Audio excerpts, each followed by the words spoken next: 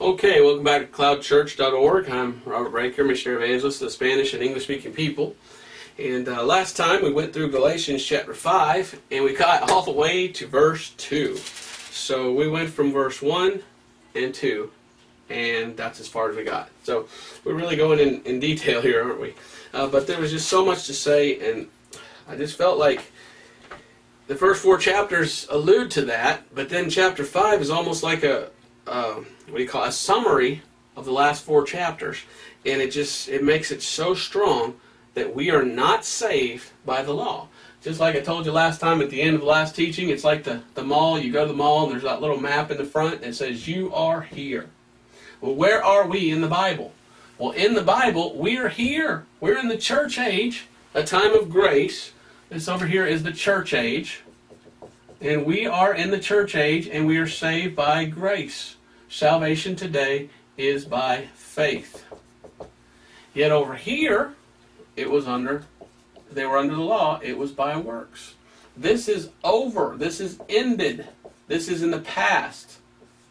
So this is all past. And Jesus Christ finished it. So here's the Old Testament, and here's the New Testament. So this is just one of the most basic divisions in the entire Bible. And yet there's literally millions and millions of people who claim to be Christians that don't see this. And they still want to live over here and think if I do enough, God will save me. And they think if I do works, then I'll be saved. But it's not what you do. It's faith in what Jesus did. This is how we're saved today. So there is a great distinction and a great difference. This is religion, and this is salvation. In all religions, all they want you to do is works. All religions are a system of works that man has to do to try to justify himself for God. And God hates religion. If you'll remember, it was the religious crowd that killed Jesus Christ. Because they were false religious leaders who were led by Satan, according to the, the Bible, led by the devil, that were preaching something that was evil, all to devour others over here, this is what God said, and God chose Paul as our apostle, Romans 11, gave him the gospel for salvation. So they're just polar opposites. And trying to get back over here under this side is wrong, and it leads to damnation. Because you cannot be saved by the law. You'll end up being damned, because the law is a curse. While over here, you obtain salvation through Jesus Christ and you receive a blessing. We receive the blessing of Abraham by faith. So it's all there. We just have to read it. So we continue in Galatians chapter 5 and begin reading in verse 3. For I testify again to every man that is circumcised that he is a debtor to do the whole law. Now we read verse 2 last time how Paul said, I say unto you that if ye be circumcised, Christ shall profit you nothing. And it's funny that he used the word profit because a lot of people that use religion, they use it for profit. And we saw last time that the, the Jews, when Jesus came, they hated Jesus and they devoured widows' homes. They used religion for profit. How could they do that? What is so powerful about religion? Well, religion is a guilt trip. It's a guilt trip. And it tries to guilt people into doing things. And what you can do is it works like this. Let's say you want to start your own religion. Well, you come along and say, You're all a bunch of wicked sinners and you're all going to burn in hell. But God has spoken to me and told me if you'll do this, this, this, and this, then you might go to heaven. But you'll have to come through me. And God has told me that you've got to give me everything you own and all of your money and all of this. That's how cults start. There are many cults in America. And people that join those cults, most of the time, not always, they're told, you have to give me everything you own. And the man or woman, whoever it may be, that starts that cult becomes very rich while everybody else is very poor. That's what religion does. It preys upon man's guilt. And it says, you got to do what I say or else you're going to hell. And people say, oh, I don't want to go to hell, so I'll do what he says. So, in other words, it's bondage. So it puts you in bondage and then tells you if unless you do this or this or this, you're going to hell. Well, what's sad is you still end up in hell. Over here is how you get to heaven. How do you get to heaven? You don't trust in your money. You don't trust in what you do. You don't trust in a man who tells you to do certain things. You trust in Jesus, and guess what you get? You get rest. And you get uh, assurance of salvation. See, under religion, you can never know if you're saved. That's a trick of the devil. Because he says you got to do good job, a good job and do works, and if you do good enough, maybe you'll get to heaven.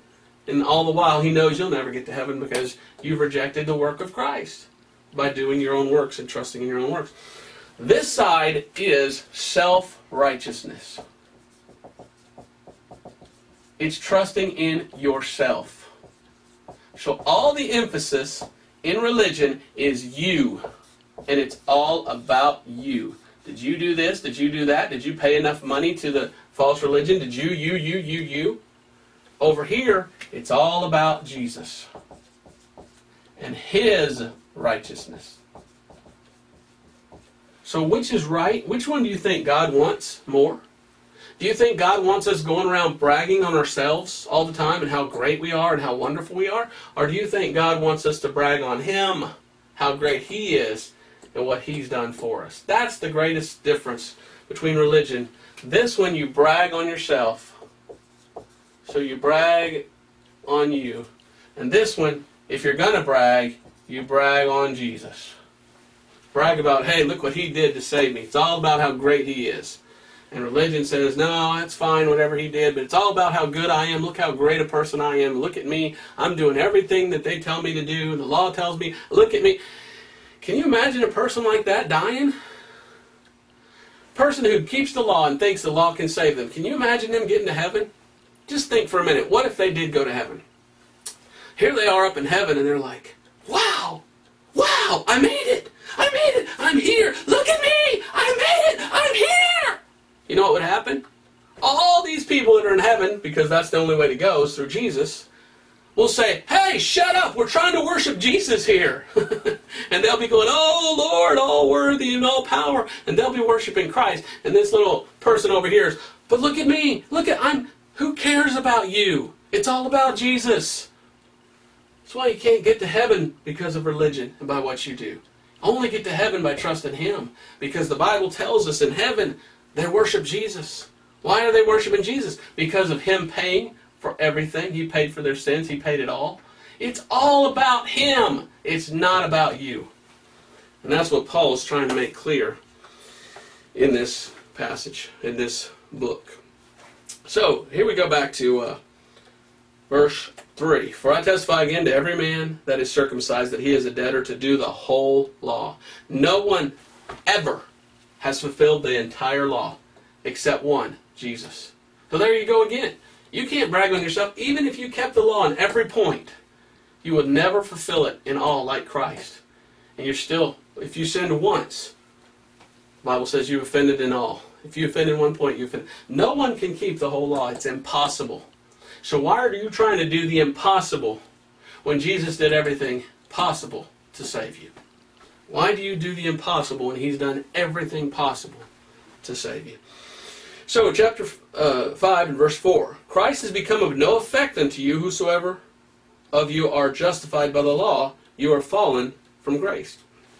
So, to try to get under the law is to fall short of grace. And you're obviously not standing. Last time we looked at the word stand and how important it is to stand. And if you don't stand, what happens? You fall. You're over here under the law. You know what you'll see? Hey, I can't keep the law. I'm a fallen nature. I'm a fallen, I'm a sinner. I can't do right no matter how hard I try. So there must be some way for me to be saved because I can't do right. People who think this way, and I've met many of them, many of them, who think if my good works outweigh my bad works, then I might just go to heaven. People that think that way, they don't think how God thinks. Because they're thinking if my good works outweigh my bad works. Well, God's looking down on them, and one sin disgusts God enough to want to cast them into hell.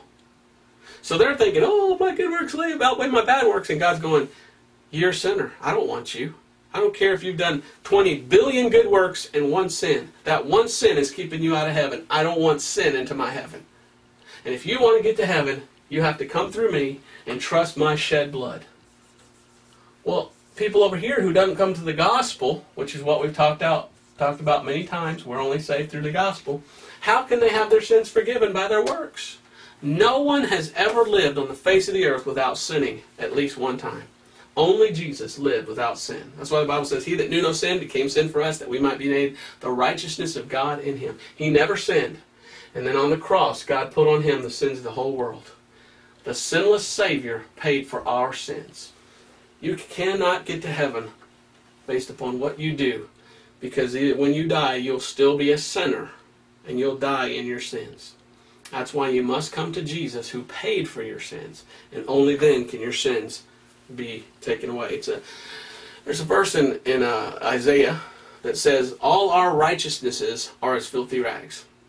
So if you were to die without Jesus Christ and stand before him at the judgment, all he would see is filthy rags of sin. But if you're saved, then it says that our sins are washed away. So God wouldn't see your sins if you're saved. All he would see is the blood of his son. So that's the difference. People don't look at themselves the way God looks at them. People excuse sin, the Bible says. People think, well, I'm not that bad a sinner. And because I'm not that bad, well, I would, I would save someone who's not that bad. It's not about how good or bad you are. It's the fact that you are a sinner, period. And God will never let a sinner into heaven. That sinner must be redeemed. That must, must be forgiven. And sins are forgiven in the sense that they're paid for at the cross. But until you receive that, you don't have that forgiveness. Jesus pay, paid for every sin, past, present, and future. But you must avail yourself of the atonement by believing, by receiving it by faith. So Galatians chapter 5 and verse 4 Christ has become of no effect unto you, whosoever you are, uh, justified uh, of you are justified by the law, you are fallen from grace. Now, who's justified by the law? Nobody. So obviously they're thinking that they're justified by the law, because in Galatians chapter 2 and verse 16, we read, knowing that a man is not justified by the works of the law, but by the faith of Jesus Christ. Even we have believed in Jesus Christ that we might be justified by the faith of Christ, not by the works of the law, for by the works of the law shall no flesh be justified. So under the law, you are not justified. So how are you justified? Over here, it's by faith. And we looked at verse after verse on that in our early beginning in the study of Galatians, how we're justified by faith and not the works of the law. Um, so, to try to say that you have to keep the law to be saved, you're saying that what Jesus Christ did is meaningless. And that, I like to, sometimes when I talk to people and I, I find a person who thinks that the law saves them or doing work saves them, one of the things I like to ask them is, Okay, then Jesus died for nothing, huh? Because you can get to heaven based upon what you do. So why did Jesus even die? You know, that kind of makes them think a little bit. Wow, why, why did Jesus die? Well, the Bible says for our sins. So he did it to save us because we can't save ourselves. It's kind of like this. You're out on a boat having a great time on the weekend and you're going in your boat and all of a sudden you look down and water just starts filling up your boat as much as it can. And the next thing you know, you're underwater and you're floating around and you look over and the shore, you can't even see it. You're so far out in the middle of the ocean. And along comes a boat. And on the side of the boat, it says Jesus. And you say, hey, there's a boat. It's Jesus. And the boat comes along and the boat says, hey, I'm here to save you. Here's a life raft. All you have to do is take it and we'll pull you in. And you say, no, that's all right. I can, I can save myself. Sharks are swimming around in circles around you. That's okay. I appreciate you trying to help me, but I can do it myself. And you start swimming. You don't even know which direction is shore, but you just start swimming. And you think, I can do it myself. I'll save myself. That's what it's like. People thinking they can save themselves, and they can't. It's impossible to save yourself. So why not take the life raft? Why not take Christ? He's the only one that can save you.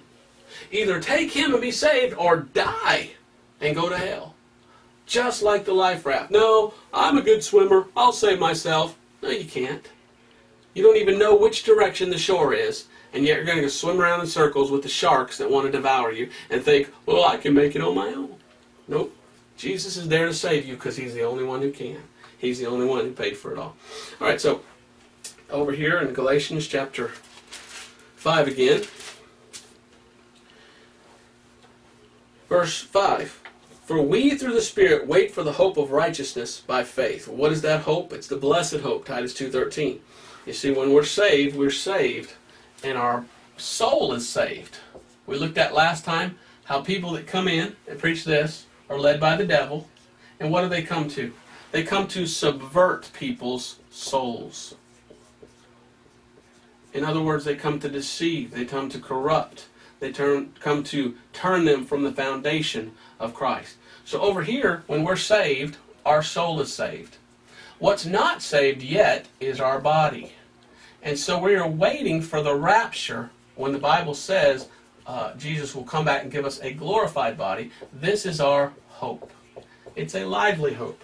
It's our hope. So when you're saved and justified and redeemed, that's your soul that's saved. What's not saved is the body. And the rest of this chapter talks a lot about the body and the spirit and how there's a fight between the two, the flesh and the spirit. So, verse 6. um, well, let me go back to verse 5. For we through the Spirit wait for the hope of righteousness by faith. So we are made righteous by faith. Let's look at this real quick. Romans chapter 3 verse 28. We've looked at some of these verses before, but we need to look at them again. So important to know we're saved by faith, not by works. Do I have faith in works yet? We're saved by faith, not by works. So Romans chapter 3, verse 28, you cannot get any more clear than this. You might be watching this and you might still think, no, but still think I can get saved by works. Look what it says. Therefore, Romans 3.28, therefore we conclude that a man is justified by faith without the deeds of the law. Justified by faith without the law. The law cannot save you. Galatians 3.11, we read it before. But that no man is justified by the law in the sight of God, is it, it is evident, for the just shall live by faith. Therefore, we conclude a man is not saved by the law. It is evident that a man is not. Paul was a lawyer. Paul studied under Gamaliel. Paul was one of the smartest men in Israel in his day. One of the smartest teachers was Gamaliel. He is writing and he's giving you as much evidence as a lawyer gives in a court of law. And he says, therefore, you're not under the law. It is evident from the evidence that we've seen that this is the way of salvation, not the law. So let's look at Ephesians 2, 8, 9. Well, I'll just quote it. For by grace are you saved through faith, and that not of yourselves. It is the gift of God, not of works, lest any man should boast. Salvation is a free gift that God gives. Over here, people think, well, I have to earn it. You have to earn it by your works. No, you don't earn salvation. You receive the free gift of salvation that God gives today in the church age. Now we look at. Uh, Titus 3 5. Not by works of righteousness, which we have done, but by his mercy he saved us. Time and again, we're saved by faith. Over here, you can never be saved. You never know. At least, you, well, let's put it this way. You can never know if you're saved. You can never know for sure you're saved if you're thinking that you can earn your salvation. Because there'll always be the question in the back of your mind Did I do enough? Did I do a good enough job? Did I do what God. Is there a sin that I did that I didn't even know that was a sin that, that I don't even know about? Did I do enough? Well, salvation is realizing, hey, Jesus did enough. He did everything necessary. And what he did is what saves me. I'll take him as the life raft because I can't possibly swim on my own into shore. So, back to Galatians chapter 3. Uh, excuse me, chapter 5 and verse 5. For we through the Spirit wait for the hope of righteousness by faith. So we are saved by faith and not by works. So it's like this. Back here, God gave the law. Some people might be thinking, well, then why was the law even given if it can't save us? Well, we looked at that before, that the Bible says the law was a schoolmaster to bring us to Christ. So it was a schoolmaster. The law was to show you that you cannot save yourself. And so the law was given to show us what sin is, the Bible says. And so the people that were under the law, the reason God gave that is so that they would say, wow, this is hard. Boy, this is tough. We can't do this. When is that seed coming that God promised? And the law pointed them, hey, this is the very Christ, Jesus. So that's what the law was given. Well, if you get saved, you look back here and you say it's all about what he did. Well, those people under the law, they were looking forward, and that law says it's all about him. And when you get saved, you're saved in here and you stand on what Jesus it, it all points to Jesus. Salvation is only through him and trusting in what he did. It's not by the law. So no one today can be saved by the law. It's that simple. So Galatians 5 verse 6. For in Christ Jesus neither circumcision availeth anything, nor uncircumcision, but faith which worketh by love. Once again, salvation by faith, not circumcision, not by keeping the law. But it says, which worketh by love. Go to John chapter 3, verse 16. Many people know John 3.16, a well-known verse.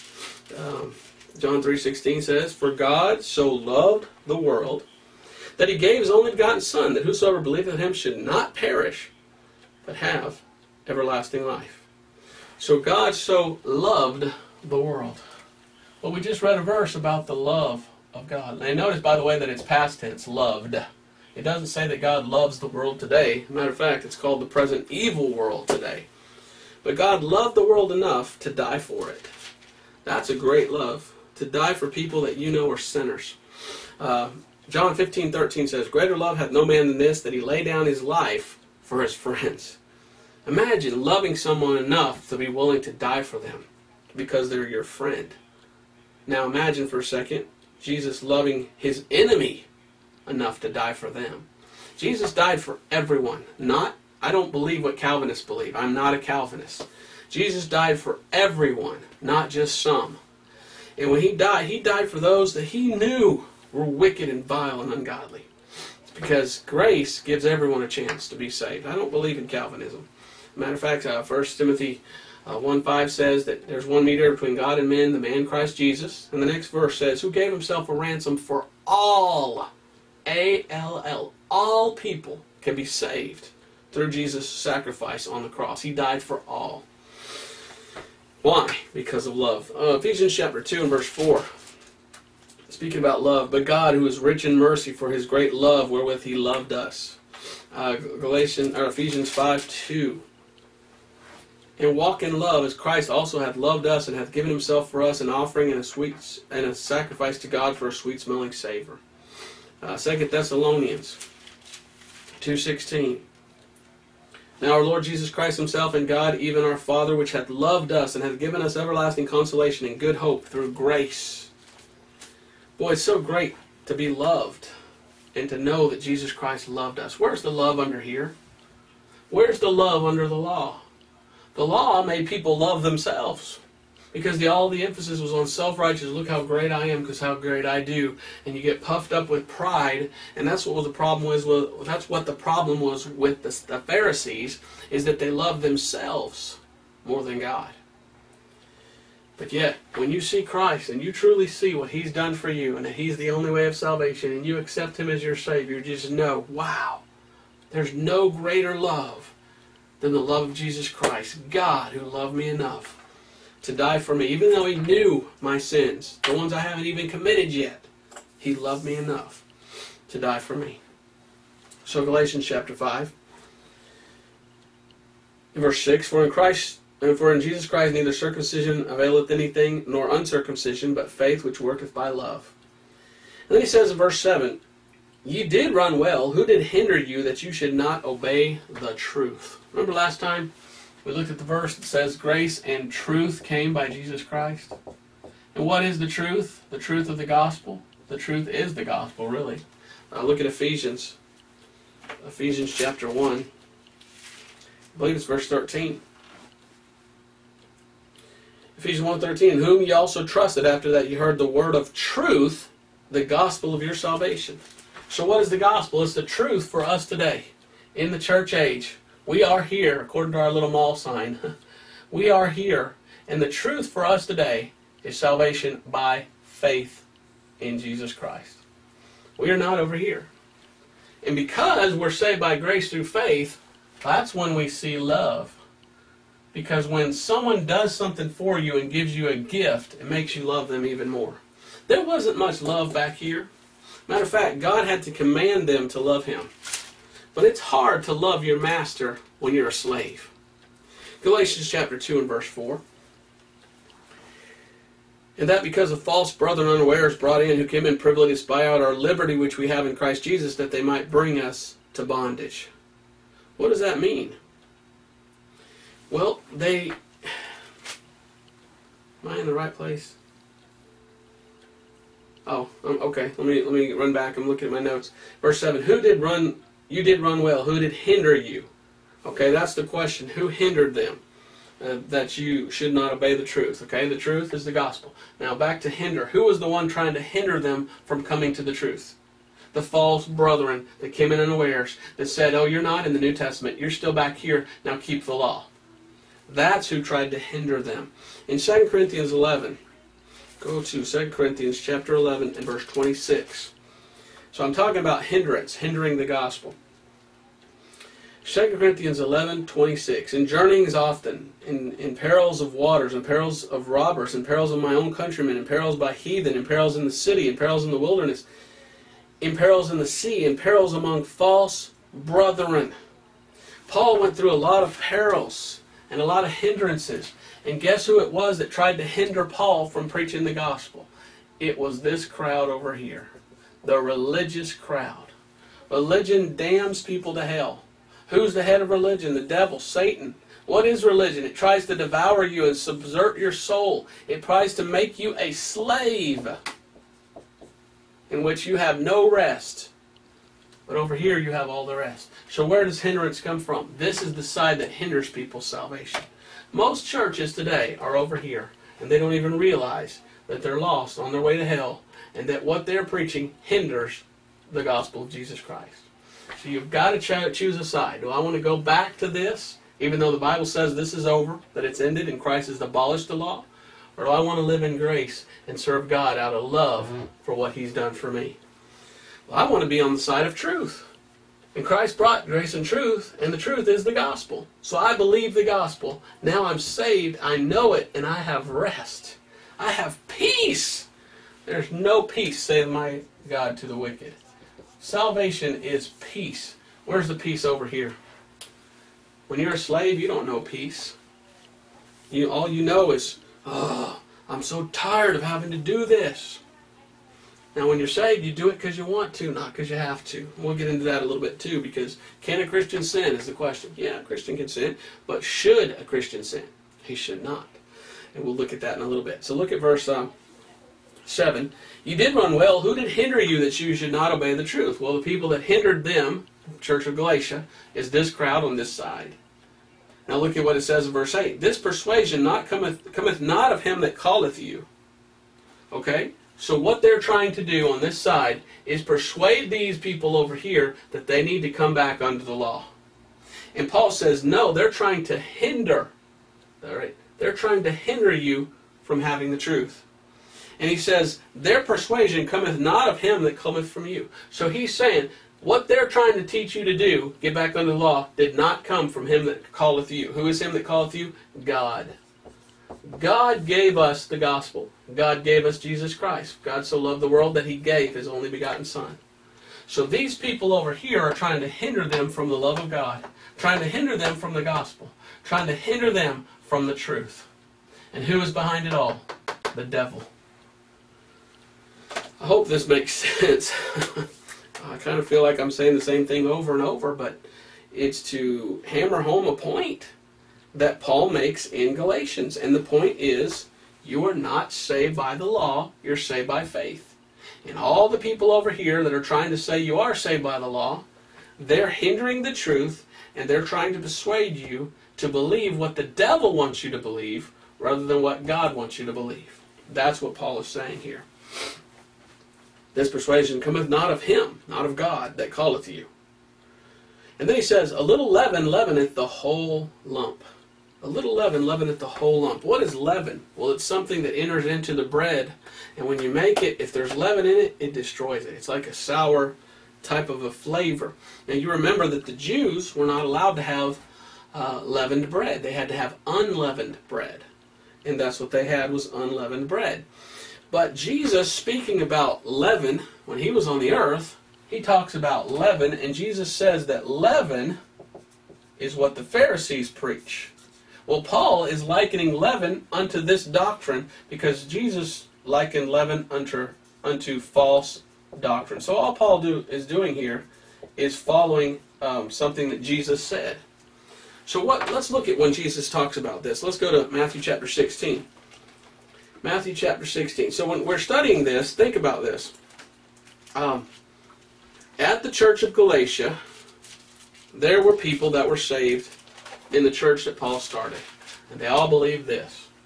Then some other people came in, and then these people came in and said, Ah, we want to try to make you come over to our side. Well, what were they doing? They were trying to destroy what God set up. They were false brethren. Well, if they're false brethren, then they probably weren't saved to begin with.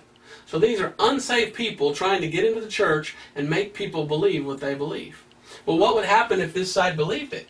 Well, then they would leave and start their own church and be preaching this rather than this. Why? Because they didn't believe this.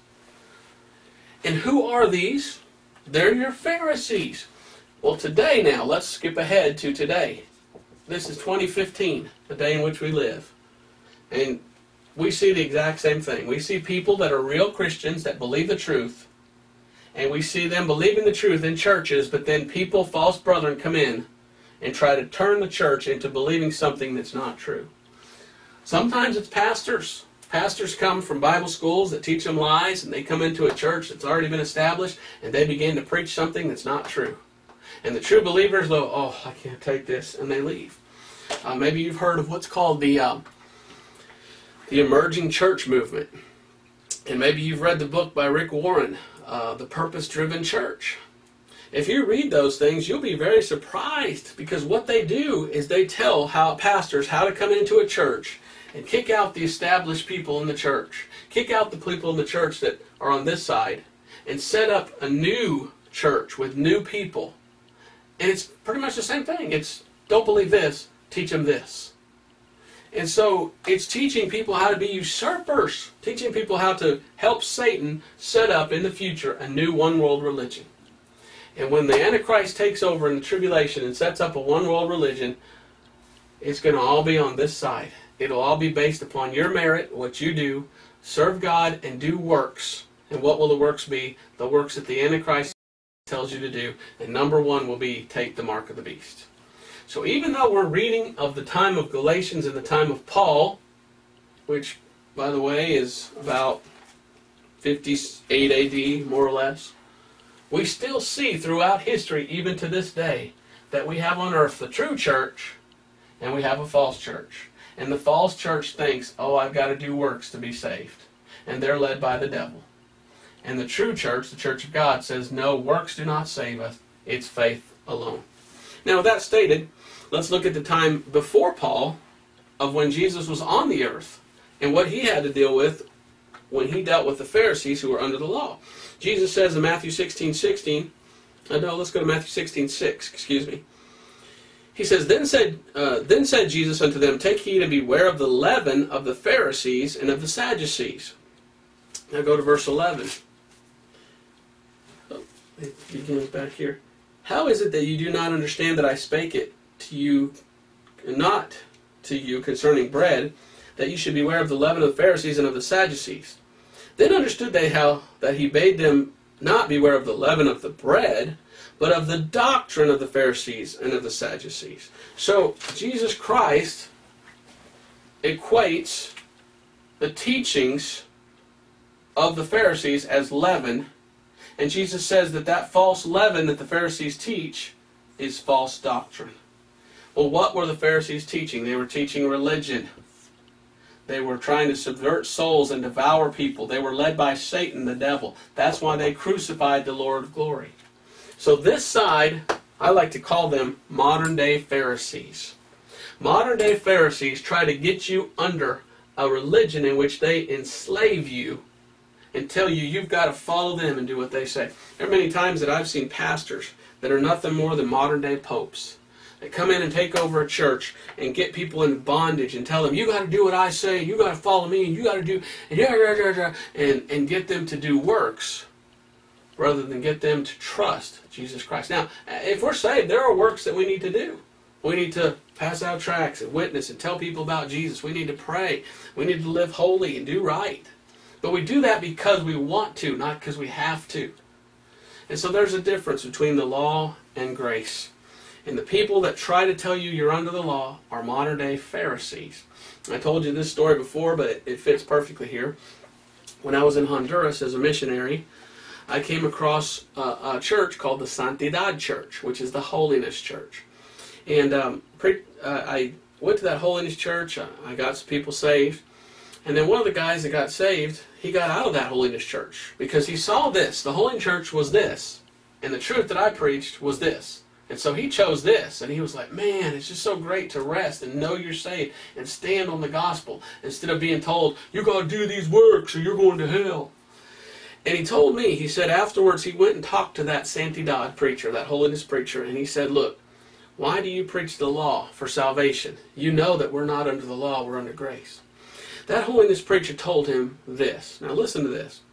That holiness preacher says, Yeah, well, he says, I've got to teach them that they've got to do certain works or else they'll go to hell. Otherwise, I can't control them. That's what he said. He said, I preach the law, you have to do these good works in order to get them get their trust so they'll trust me and obey me. And unless I give them fear and something to be afraid of, I don't know if I wrote fear up here. He said, unless they're afraid, then I can't get them to do what I tell them to do. That was a confession of a preacher who taught a work system for salvation. And he said, You've got to tell them do good works and make them afraid so that they'll follow you and obey you, and you can control them. Do you see the difference? Do you want man to control you, or do you want God to control you? If you're saved, you have the Spirit of God, and you yield to that Spirit, and God controls you. If you're lost and you're going to a false religion, everything you do, you do in the flesh by fleshly people who told you to do it, who have one motive in, in mind force you and control you in order to get that out of you right there. Hopefully by now you're seeing the difference between religion and salvation. 1 Corinthians chapter 5. 1 Corinthians chapter 5. You say, oh, I'm tired of this. It sounds like the same thing over and over. Well, once we're out of the book of Galatians, we can move along to something else. But the entire book of Galatians is about this right here. This is how we're saved today. This is how they were saved before Jesus. You cannot mix the two, and you cannot go back to that one. To go back there is to say Jesus did nothing on the cross and that, that it, it's of none effect. Or to say, well, I'm saved by Jesus today, but I still got to keep works or else I'll lose it, is to say that what Jesus did wasn't sufficient because it didn't pay for all your sins. Your salvation still depends on you doing something. Well, then why did Jesus die? Or if you sinned again, then I guess Jesus has to die again to forgive you that sin. No, Jesus only died once for all sins, past, present, and future. So it's not works that saves, nor is it faith plus works. It's faith alone that we're saved. In 1 Corinthians chapter 5, verse 6 and 7 say, Your glorying is not good. Know ye not that a little leaven leaveneth the whole lump? Purge out there, therefore the old leaven, that ye may be a new lump, as ye are unleavened. For even Christ our Passover is sacrificed for us. Therefore let us keep the feast not with old leaven, neither with the leaven of malice and wickedness, but with the unleavened bread of sincerity and truth. It all goes back to what we've just looked at. Here's Paul in 1 Corinthians. And just like he told us that leaven is a type of false doctrine and this is leaven, he says you can't have both. You have to purge out the old leaven. So completely forget this because this doesn't save. And come to Jesus Christ who was sacrificed for us. That's all I've been showing through this verse by verse study that it's none of this that saves, it's only Jesus Christ. And he says, but only have the unleavened bread of sincerity and truth. This is grace and truth that Jesus brought. This is salvation. This is false doctrine if you try to apply this to us today. This does not save us. Only this saves us. So back to Galatians. And let me say this as we go to Galatians. We must purge out the false teaching that works can save us. if only churches would wake up to the fact that they can't be saved by works and just start teaching Jesus Christ, teaching salvation by grace through faith, saying it's all about Jesus. There's possible we just might have revival in this world again. But most churches won't do that. They put the emphasis on the person instead of on the propitiation, what Jesus did for us. All right, and that's that's how you know if you're in a cult or not. If they exalt you and lift you up and tell you how great you are and how good you are and how God will accept you by your works, that's a cult. If it's not a cult, then it's because it puts all the emphasis on Christ and it shows you in your true light as a sinner and Him as the sinless substitute and sacrifice for your sins. So Galatians chapter 5 and verse 9, a little leaven, leaveneth the whole lump. Yep. So if you even try to mix just a little bit of this with that, it destroys this completely. You have to make a decision. Am I going to believe in my works and try to do good, hoping God will save me because of it? Or am I going to give up everything I've ever done and trust solely in what Jesus Christ did? Now, there's, here's the problem when you do that. People say, oh, so you're saying that I can go live however I want. No, no, I'm not saying that. But that's what they think. They think, well, grace is an excuse to sin. Well, Paul said, use not your grace as an occasion to the flesh. So, it, you don't get saved so you can go sin. You get saved because you know you can't save yourself because you're a sinner. After you're saved, that's a different story. You can still sin as a Christian. But when you have the Holy Spirit, it helps you not want to sin. Grace is not an excuse to sin. Grace is the means of which God chose to save us today. And by salvation, we can serve Him through love. There's not much love over here, but all this is about love. Because He loved me, I serve Him. I'm not serving Him in the hopes that I might gain, gain His love someday. He loved me and He showed His love on the cross of Calvary in dying for my sins. I accept that. I know I'm saved. And because I'm saved, I want to serve Him. All right. Galatians chapter 5, verse 10. I have confidence in you through the Lord that you will that you will be none otherwise minded, but that but he that troubleth you shall bear his judgment, whosoever he be. So Paul says he believes in them, he has confidence in them. But how does he have confidence? Look at what it says, through the Lord. I have confidence in you through the Lord. I.e., if saved, then he knows they have the Holy Spirit, so he has confidence that the Holy Spirit will show them, hey, this isn't salvation anymore. It's not the law anymore. It's over here that we're saved. So he has confidence in them, but it says through the Lord. Only through the Holy Spirit is this confidence in them. That you will be none otherwise minded. Don't think that this is true. This is grace and truth for us today. And then he says, But he that troubleth you shall bear his judgment, whoever he be. So whoever it is that's troubling them, preaching this false, perverted gospel and trying to put them back under bondage of the law, he says God's going to judge that person. And probably put them in hell. Because most likely that's a, as the Bible calls, a false brother, someone that wasn't saved. Because how could someone who's saved and understand the gospel try to tell you that this is salvation? Obviously, they don't understand the gospel. I say probably because sure, a person can be a Christian and then teach something that's wrong. Should they? No. They can be. But then think about this. If they are saved, then why would they preach something different? How do you get saved? Go to thecloudchurch.org. Look at past sermons. The order of salvation. And what we looked at is that to be saved, you must see, hear, understand, and be converted. That's what Jesus said. So you have to hear the gospel. And once you hear the gospel, you have to understand it. Well, if a person understands the gospel, how could they still think they can get to heaven based upon what they do? You can't, because the gospel is all trust what Jesus did. So there's that too. So, Galatians chapter 5, verse 11. And I, brethren, if I yet preach circumcision, why do I yet suffer persecution? He says, Then is the offense of the cross ceased. I would they were even cut off, which trouble you. So, in verse 11, he talks about suffering. All right, let's look at this. When Jesus appeared at his day, he appeared and he preached against the Pharisees because they were wrong. And because of that, they persecuted Jesus Christ. And Jesus suffered because they killed him. So Jesus wasn't very popular because he preached, You all are a bunch of sinners, and I'm right and you're wrong. And people don't like to hear that they're wrong. So they were persecuted. Now, Paul here is talking about now when I began to preach. So Paul shows up and Paul begins to preach. Well, even before Paul, Peter and the apostles, they were persecuted for preaching Christ. Why? Because they were preaching that you're not saved by this, you're saved by Him and trusting Him. Even to this very day, if you preach what I'm preaching to you today, the majority of so called Christians in the world believe this, and they'll persecute someone who believes this because they want so bad, so bad to believe, oh, I can be saved by my own good works, I can save myself. They want so bad to believe that they can be good enough to get to heaven. Because to preach Christ is to preach to them that you're a low down, sorry, good for nothing sinner that's just full of sin, worse than a dog, worse than dog spit. You're awful, you're evil, you're bad, and you're going to hell. What self righteous person wants to hear something like that? When Jesus Christ came, the reason the Pharisees hated him so much is because he was better than they were.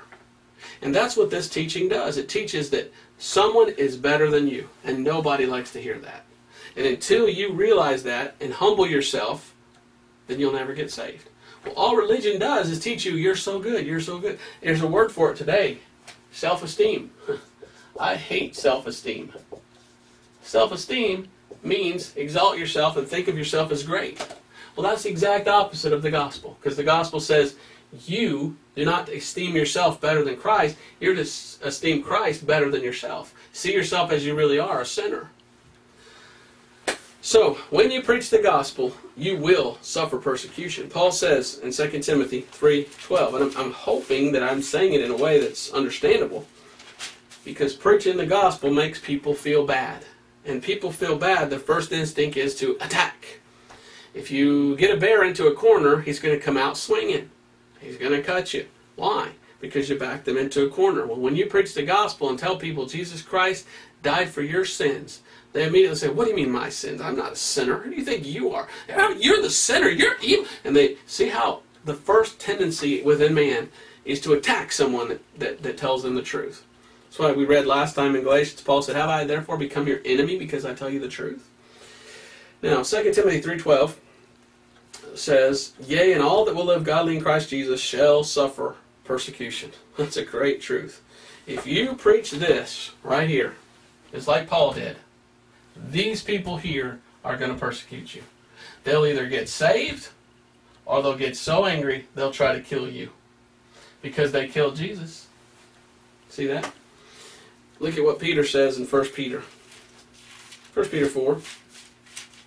1 Peter 4 and verse 12 says, Beloved, think it not strange concerning the fiery trial which is to try you, as though some strange thing happened unto you. But, in, but rejoice insomuch as ye are partakers of Christ's sufferings, that when his glory shall be revealed, he may be glad also with exceeding joy. If ye, be, if ye be reproached for the name of Christ, happy are ye. For the Spirit of glory and of God rests upon you. On their part, he is evil spoken of, but on your part, he is glorified. You get that verse 14? They speak evil of Jesus. Because if you believe the law can save you, then you're saying, ah, Jesus wasn't as sinless as he said he was. I can save myself because I'm a better person than Jesus. What? You act that's what this teaching says, is that I'm better than Jesus. That's why I can save myself by my works. And then he says verse 15, But let none of you suffer as a murderer or as a thief or as an evildoer, or as a busybody in other men's matters.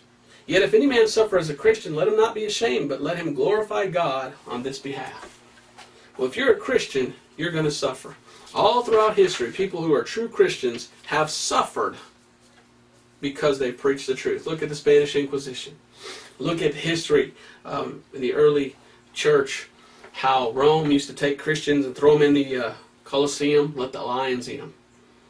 Telling people that Jesus Christ is the only way to heaven is something they don't want to hear. Because they want to think, oh no, I can get to heaven on my own. And why do they think that? Because religion is almost always the majority. You think about this. Since the beginning of time, the majority has always been religious. Bible talks about Nimrod and Babylon, and Nimrod started his own religion, Babylon religion.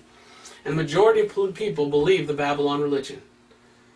Was it right? No, it was of the devil. They taught things that weren't true. All throughout history, religions have risen up. Uh, after the church started, not even 300 years later, the Roman Catholic Church started. And 325 AD, they became a majority. But yet, there were many who believed this. But because more believed this than this, now people say today, oh, see, this has always been the truth, and Catholics are right, and we should all believe this and all get together. The majority of people that claim to be Christians are on this side. Well, it doesn't matter if they're a majority. What's the truth? The truth is this side. So you see how easy it is to persecute this side? When you're the majority and everybody else is saying, well, we're right and everybody else is wrong, and you look at a few people that are called dissenters, you say, well, they must be wrong because there's more of us than them. Well, if you read your Bible, you know what you find? You find a theme through the entire Bible that's kind of interesting. And the entire theme of the Bible is this God and one man. You can't through, read through the Bible without seeing that almost everybody's wrong, and God goes to one man and says, Now go tell them the truth. And then usually people get saved, or people get repent and get right, and then they get right, and then they go into apostasy again. The majority believe wrong, and God calls another man and says, Come over here, man, tell them they're wrong. The entire Bible is God coming to one man and using that one man to reach many. Over and over and over again, story after story after story, we see God coming to one man against the majority. So the old saying, the majority is always right. No, it's not. The majority is almost always wrong. And God chose, as the Bible says, the weak and base things of this world to confuse the wise, to confound the wise. And so this side, there's always been less people get saved than, than people that were lost. There's always been less saved people in the world than lost people. And it's always been the lost people that persecuted and murdered and killed the true Christians all throughout history. So if you're a true Christian, you just just mark her down. You're going to suffer for Jesus. You're going to get some kind of persecution for Christ. Look at 1 Corinthians chapter 9 verse 12. 1 Corinthians 9:12 says this. If others be partakers of this power of you, are not we rather? Nevertheless, we have not used this power, but suffer all things, lest we should hinder the gospel of Christ. We talked about that a little bit earlier, about hindering the gospel. Was that this teaching? Yeah, it sure was. Paul says, I don't want to hinder the gospel. Who is it that hinders the gospel? Those that persecute true Christians.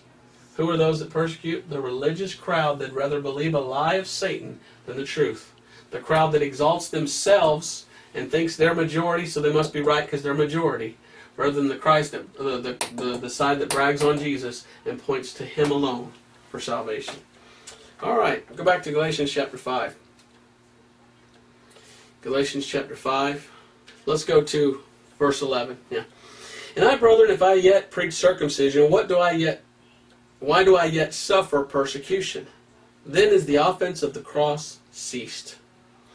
Now, we looked at the suffering. If you preach the gospel correctly, this crowd will persecute you and you will suffer. It's that simple. But then he says, Why do I yet suffer persecution if I preach? If I, Paul's basically saying, if I just stop preaching this and then join these people and preach what they preach, there'd be no persecution. But because I preach the truth and it's against them, they persecute me. He says, But then is the offense of the cross ceased? Well, that's an interesting thing here. Offense of the cross. And this ties in with everything that I've just been saying. And hopefully we'll bring it all together so you understand if you don't.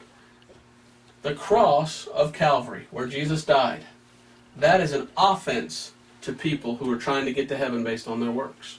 Offense, what does that mean? It means a person who, who, who's offended. So when you preach the gospel, what are you saying? You're saying Christ died for your sins, was buried, and rose again the third day according to the Scriptures. The only way to heaven is through Jesus Christ, who came to save sinners. Now put yourself in the mindset of one of these people who believes works saves. That offends you. Because you're expecting God to give you salvation because you think you're a good person. And you think because I'm good enough, He has to save me because look at all the good I did. And then you come and say, No, you're no good. You're a sinner. What? And because you're a sinner, God will never accept you. What? And because of that, Jesus died for your sins, and He's the only way. And until you come to Jesus, you'll never get saved. Who are you to tell me this? I'm I'm better than Jesus. That's what they believe. We looked at that. And so what? They become offended. The Bible talks about Jesus as as the, the head of the stone that a person has to fall upon. They must humble themselves. Until a person humbles themselves, sees themselves as a sinner, and comes to Jesus, they can never be saved. So Jesus Christ is an offense unto people who think they can be saved by their works. They're offended by Jesus. For, for Jesus' sacrifice of necessity says to the sinner, You are a sinner that can't save yourself, and that's why I, Jesus, died for you. But religion says, I can do it myself, and I'm offended that someone else would think that they're better than I am. That's the difference. And that shows you the Pharisees. The Pharisees thought, we are way better than this Jesus guy. Let's kill him because he offends us. and that's what it's like today. Look what Jesus says for the Pharisees in Matthew 18. Let's go to Matthew chapter 18. I guess we'll have to close here. Matthew chapter 18. I've enjoyed this study. I hope it's been understandable and not repetitive. But it's so important to see that this is probably the most important teaching that a Christian needs to get. And they need to preach to others. Because someone might say, Hey, I'm a Christian. Oh, yeah? What do you believe? And then they say they believe this. And you're over here. You can't have fellowship with a person like that. Because they are the false brethren trying to get you on their side. You can't join with this side and be in bondage. You're trying to free them, and they're trying to enslave you. You've got to believe right. The Bible says we have to be of one mind in Christ. Matthew 18, verse 3. Matthew 18, 3, Jesus says, And said, Verily I say unto you, except you be converted and become as little children, ye shall not enter into the kingdom of heaven. Whosoever therefore shall humble himself as this little child, the same is greatest in the kingdom of heaven. And whosoever shall receive one such little child in my name receiveth me. And whosoever shall offend one of these little ones which believe in me, it is better for him that a millstone were hanged about his neck than that he were dropped in the depth of the sea. Woe unto the world because offenses. We just looked at the offense of the cross. Jesus says, But it must needs be that offenses come, but woe to that man by whom the offense cometh. And so Jesus is talking, he's saying, Look, there's going to be some offenses that come. And Jesus knew the people that come on this side to follow him, they would find offenses by this side because they're offended. And they would persecute them. So the offense of the cross is preaching salvation only through Jesus, only through the cross. And guess what? When you preach that, you offend people and they hate it. I just, I remember reading through the, the book of Matthew and, and the Gospels, and when Jesus came preaching, the Pharisees acted like little children. It says they came yelling and, and stopping their ears and going, no, no, no, no, no, no, no, just like a bunch of little kids because they were so offended at what Jesus Christ preached. They hated it because if Jesus was right, then they were wrong. And here they are, the religious leaders of the entire nation of Israel. And if they were wrong, they'd really have to humble themselves to admit that, and they'd lose everything. Just like they said, we'd lose our position. They love control like that Santidad, holiness preacher. They loved controlling people. That's why they didn't want to accept Jesus Christ as their Savior. So back to Galatians, and I guess we'll stop here. Galatians chapter 5. That is the offense of the cross seat. So when you persecute, when you preach the truth, people will be offended and they will persecute you. Paul says, "I would they were even cut off, which trouble you." Paul wishes they were dead who preached the false gospel. They were like mosquitoes that were live only to suck off the blood of other people.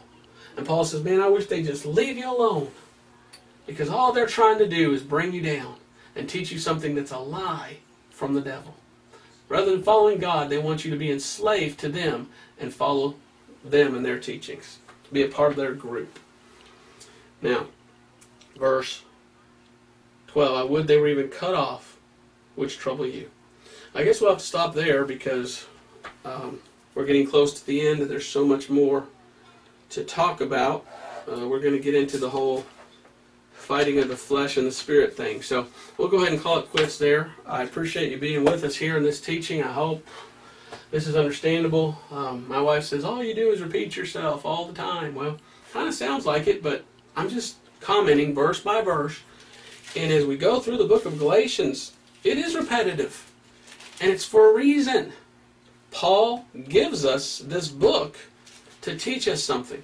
And my dad always said the best way to learn is repetition, repetition, repetition. He'd say it three times. And he'd drill it into my head. And he'd say, How's the best way to learn, son? And I'd say, Repetition. He goes, No, it's repetition, repetition, repetition. He'd say three times. And unless I said it three times, he wouldn't he wouldn't let me get away with it. What was he trying to teach me? That the best way to learn something is to hear it over and over and over until you get it in your mind. And I hope you folks that are watching this get it in your mind that salvation is through Christ, through faith, through the gospel. Not by works, but by faith alone. If you got that, praise God. Now take that message to these folks over here. Because there's more of them than there are of us. It's always been that way and always will be. More Pharisees in Jesus' time than there were disciples. So what do we need to do? We need to try to reach them. It's not going to be easy. They're going to persecute us. They're going to lie about us. They're going to tell everyone we're liars and we're wrong and we're heretics and we're... Who cares? I just want to please Him who died for me. I want to tell people the truth. Like Paul said, have I become your enemy because I tell you the truth? If people don't want the truth, that's fine. But you know what? There'll be somebody somewhere that's been looking for it. And they'll just go, wow, that's what I've been searching for my whole life. That's what happened to me. 18 years old, all I ever heard was this. The first time in my life at 18, go to the Cloud Church, look at my testimony. My dad told me the gospel. It was like my eyes went open and a light bulb went off in my head, and it was like, that's what I've been looking for. I've been doing all these good works and living in fear, hoping that I did enough for God to accept me, and then that's not where it's at. It's just trust what He's done. Wow! That's all I've ever wanted is someone that loved me enough to do that for me. And now I've found Him. Now I'm saved and I know it. I have assurance that I'm on my way to heaven. It's like night and day. Don't be in the dark and the night. Come over to the day. Christ is the light. Thank you for watching. We'll see you next time. God bless.